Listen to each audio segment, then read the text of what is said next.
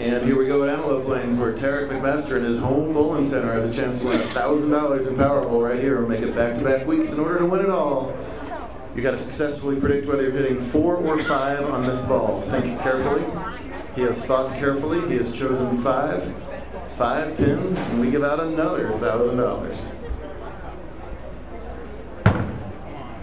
Get lucky. Well, he got five twice, so that's two thousand dollars.